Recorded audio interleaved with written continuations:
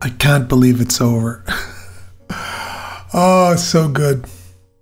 So, first things first, thank you everyone for staying with me and helping me out. Every single one of you helped me out one day or one day or another.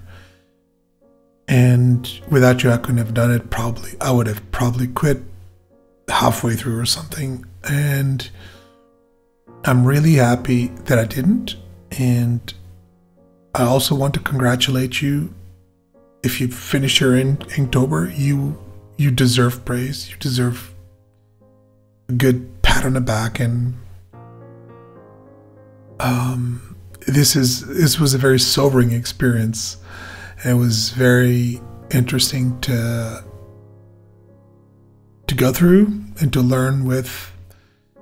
And I'm not regret. I haven't regretted a single minute, but um, this was way harder than I've ever expected it to be. So.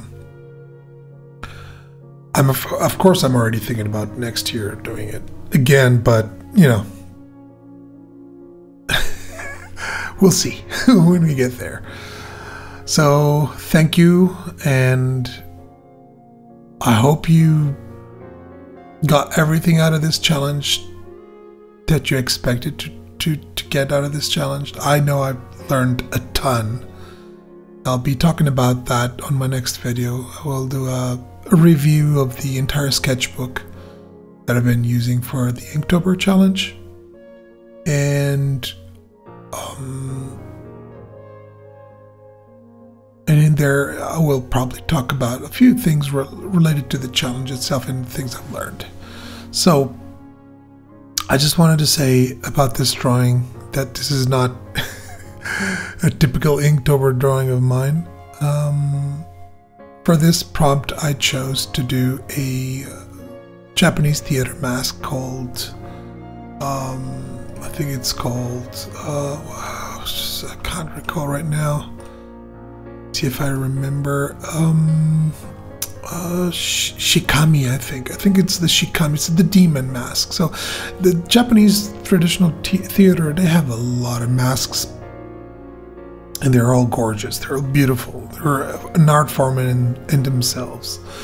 And um, I do quite a bit of them on my tattoo work because they're also a very popular tattoo um, theme, uh, like the Hannya mask and all of that.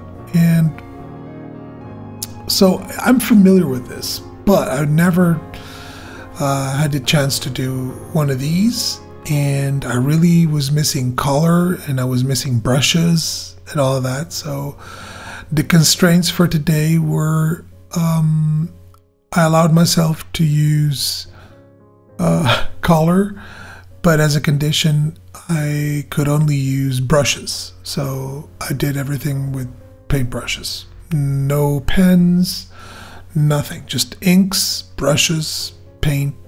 That's it.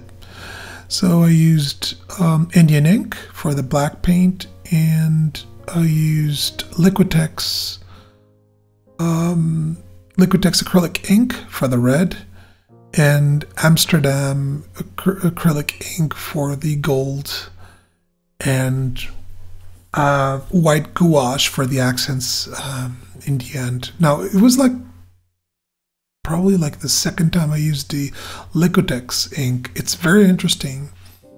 It's not like um, watercolor, not not not by long shot, but it if you're fast enough and if you dedicate enough forethought, you can actually use it a little bit like a watercolor. But it's it's not watercolor. It's it's once it's once it's dry, it's not reactivatable at all. It's permanent. That's it get one chance.